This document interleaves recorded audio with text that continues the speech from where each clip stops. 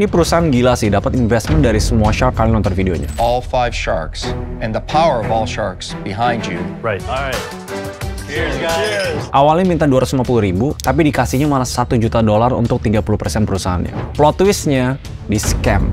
Simpelnya setelah investment, Mark Cuban pernah bilang, ini kenapa foundernya habis diinvest bukannya kerja, dan ujung-ujungnya produk yang dia pitch di Shark Tank nggak sesuai sama yang dia bilang di awal. Ya makanya sebenarnya istilahnya, orang tuh nggak investasi di bisnis, orang investasi di orangnya. Salah satu Shark Tank Matt Higgins yang pernah muncul di season ini, nanti bakal datang di Jakarta tanggal 6 di kota Casablanca. Kalau kalian belum kepoin Instagramnya The Founder Fest, kita bakal datengin banyak banget pebisnis hebat dan mentor-mentor yang kalian bisa mentoring dan bisa daftarin bisnis kalian juga untuk pitching di depan Matt Higgins. Ini kayak ala-ala Shark Tank Indonesia. Tapi balik lagi, sebelum kalian minta investment, pastiin kalian sebagai founder itu komit untuk gedein bisnisnya. Kalau komit, see you guys di Founder Fest.